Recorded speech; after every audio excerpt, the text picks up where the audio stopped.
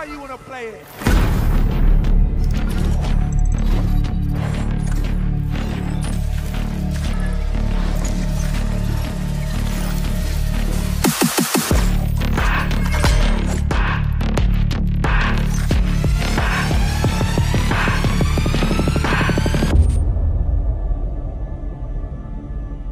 بروجكت اي هو عبارة عن اسم مشروع تم إطلاقه يوم 15 10 2020 من قبل شركة Riot Games المالكة للعبة League of Legends المعروفة عالميا باسم LOL. في هذا الفيديو رح نحكي عن هاي اللعبة وشو تفاصيلها وامتى رح تنزل وكيف آلية اللعب فيها. فأنت إذا أول مرة عندك تشاهد الفيديو على القناة يا ريت تشترك. وفعل زر الجرس وحط like للفيديو ليوصلك كل جديد عن هاي اللعبة وألعاب تانية. اليوم تاريخ 2 3 2020 تم إزاحة الستار عن Project A اللي هو تم استبداله باسم لعبة Valorant اسم مميز وصعب جدا بس إن شاء الله اسم مميز مع لعبة مميزة قادمة لسوق 2020 يعني صيف 2020 هاي اللعبة باسم Valorant اللي هي عبارة عن أسلوب search and destroy مثل لعبة Counter Strike المعروفة عالميا اللي هي رح تكون عبارة عن خمس أشخاص ضد خمس أشخاص فريقين فريق يزرع القنبلة وفريق يشيل القنبلة. بس فيها ميزة حلوة إنه فيها شيء بعيد عن لعبة CS GO قريب لعبة Apex Legend ال battle royale اللي هي عبارة عن شخصيات متعددة بهاللعبة لكل شخص له آلية.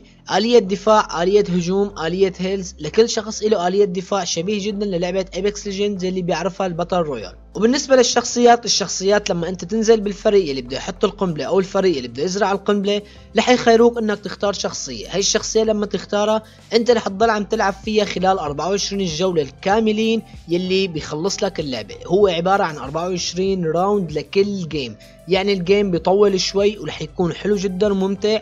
عبارة عن 24 جولة وفيها أسلحة منوعة كتير. بالنسبة للأسلحة الأسلحة هي عبارة عن أسلحة مشتركة مثل Counter Strike مثل ما شايفين بالقائمة. الأسلحة فيها فيها shotgun فيها assault فيها SMG فيها pistol فيها grenade قنابل فيها أشياء كتير.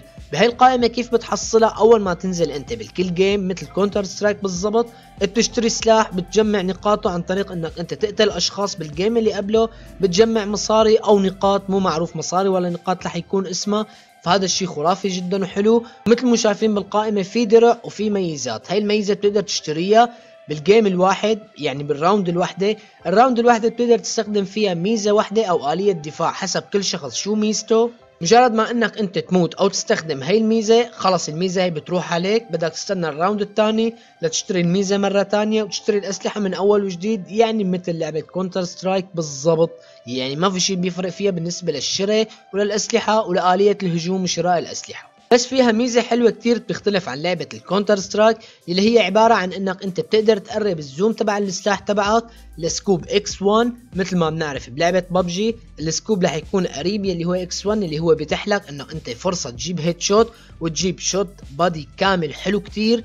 هاي الآلية حلوة كتير بهاي اللعبة ومتاخذة من كذا game وهي. يعني هو الواحد مو شرط إنه يخترع لعبة من الفضاء أو مالك شايفها أنت قبل هلأ. لعبة Valorant حلوة كتير بالنسبة لأنه هن جامعين كتير إمكانيات من ألعاب تانية مثل سكوبات ومثل كل واحد له شخصية ومثل ال CS GO من ناحية ال search and destroy طريقة اللعب. وفيها كمان إمكانيات ظريفة جدا إنك أنت بتقدر تزرع ألغام وتطلق كمائن سحابية اللي هي عبارة عن كمائن سحابية من طرفين كل طرف ما بيشوف الثاني مثل ما موضح أمامكم بفيديو الإعلان تبع اللعبة. والشركة عملت شيء حلو إنه اليوم وقت ازاحت الستار نزلت gameplay للعبة.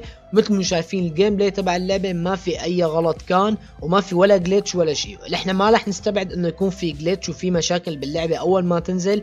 بس هذا الشيء طبعا رح يتحدث بسرعة بالنسبة للشركة لأنه الشركة قوية جدا Riot Games فشركة قوية ورح تساعد دغري إنه تحسن اللعبة أكثر وأكثر لحتى توصل اللعبة طبعا للعالمية مثل أي شركة بتتمنى إنه توصل لعبتها للعالمية. واللعبة كمان رح تركز على شيء اسمه e-sport اللي هي البطولات المنظمة من عن طريق الشركة والبطولات المنظمة عن طريق المنظمات اللي بتنظم. شايفين كم مرة قلت منظمات؟ المهم. المهم في منظمات اللي هي طبعا رح تنظم البطولات ورح يكون في بطولات جدا عالية لهي اللعبة. لنحكي شوي عن السيرفرات.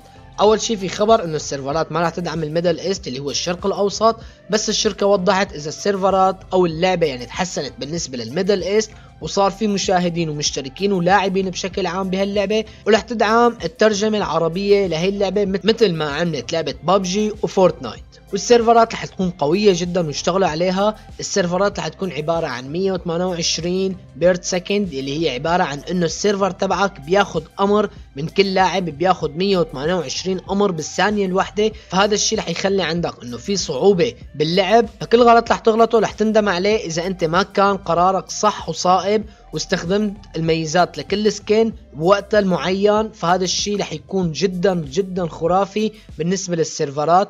مثل ما بنعرف السيرفر تبع سي اس جو اللي هو عبارة عن 120 per second اللي هو أقل من هاي اللعبة بثمانية تقريبا. فهذا الشيء رح يميز هاي اللعبة بالسيرفر من ناحية سي اس جو Valorant رح تكون متميزة بالسيرفرات تبعاتها. وبالنسبة للغش الغش رح يكون مراقب جدا من قبل مراقبين حقيقيين. يعني لو أنت لعبت مع حدا وحسيته عم يغش لهذا الشخص بتعمل report أو بتعمل إبلاغ عليه لهذا الشخص وبتم مراجعة هذا ال report أو هذا الإبلاغ عن طريق شخص موجود بالشركة وبيبعت لك ال reaction تبعه وبيبعت لك ردة الفعل هل هو فعلا كان هكر أو كان عم يغش باللعبة فرح يتم حظره مباشرة فرح يبعثوا لك تشكر إنه أنت بعثت هذا ال report وهذا ال report كان صح 100% إنه هذا غشاش وتم حظره من عن اللعبة. فهذا الشيء رح يميز اللعبة بالنسبة للغش. وهي اللعبة بالمناسبة هي free للعب يعني حتكون مجانية ما رح تدفع عليها ولا شيء غير طبعا مثل الباكجات والأسلحة والسكنات. هذا الشيء اللي إحنا بنعرفه اللي هي كل الألعاب أخذت هذا الخطى وهذا الطريق مثل ما عملت ببجي ومثل ما عملت Fortnite و Apex نزلت اللعبة وما نزلت شيء إنك انت تشتري أسلحة أو تقوي من نفسك بالمصاري لا. عملت شيء مثل سكنات ومثل أشكال وألوان هذا اللي بيخليك إنك أنت تنشد للعبة وتدفع أكثر فيها مصاري. هاي السياسة الجديدة اللي عم تتبعها جميع الألعاب حاليا. بالنسبة للجرافيك الجرافيك مو هو واقعي جدا الجرافيك ممتع وكله ألوان حلوة. animation تبعه جدا جيد وهذا الشيء اللي بيخلي اللاعبين اللي عندهم أجهزة ضعيفة تلعب هاي اللعبة على 60 frame. يعني لنعطي مثال مثلا معالج i3 وكرت شاشة GT 730 من 2014 بشغل لك اللعبة على 60 frame بكل رياحة وبكل بساطة بشغل لك إياها على 60 frame وأنت تمام عندك اللعب والوضع كله رح يكون تمام على هيك كروت شاشة وهيك مواصفات. أما بالنسبة إذا بدك تلعب ل 140 أو 140 frame مثلا كل عليك إنه أنت يكون عندك كرت شاشة من الفئة المتوسطة GTX 1050 رح يشغل لك اياه على 144 frame بالثانية. هذا الشيء بيخلي اللعبة تتميز جدا وتكون حلوة بهذا الشيء إنه كل شخص أو كل واحد عنده إمكانيات ضعيفة أو قوية بيقدر يلعب هاي اللعبة اونلاين مجانا. واللعبة حتنزل إن شاء الله بصيف 2020 فأنت إذا أول مرة عندك تشاهد هذا الفيديو على القناة اشترك بالقناة لأنه إن شاء الله رح نزل كل شيء عن السكنات أو كل شيء عن الشخصيات اللي نازلة بهي اللعبة. ورح أشرح كل skin وكل شخصية شو فائدتها وشو ميزتها بهاللعبة أول ما يصدر هذا الشيء أو هذا الكلام عن أي شخصية رح تنزل بهي اللعبة. فأنت إذا أول مرة عندك تشاهد الفيديو على القناة اشترك بالقناة. وفعل زر الجرس وحط لايك للفيديو ليوصلك كل جديد. وشكرا على المتابعة. إذا كملت الفيديو للآخر وبرعاية الله. Pick up. Blocking sight. No. Pick up B, pick up B. That's- Res, that's fine, it's fine. Long A. Sewer, right? Pick up B. I can help you get out. Hey, I'm out. scared the One mid, one still on grass. I'm just ulting your Oh, front of B. Big, big. I'm gonna dude. drone outside of Alon just to check. Welcome to my one mid. Let's see, world. let's see, let's see. I've got dags. We can retake together. Also have. Where's Oh, get me out of here! Okay, okay. the, the other one? I'm gonna go this way with dags. Uh, let me go first with my dart. So There they are. Guys fucking in the corners. See one oh, of them? Close left. Impact. Alright, let's do this. You One in the smoke cloud. One enemy left. Alright, let's go. All together, all together. Let's. He was right here. Player standing like this. Yeah! You're What? What? The raid boss. Oh my! No, not like this! Not like this! Okay, okay. okay.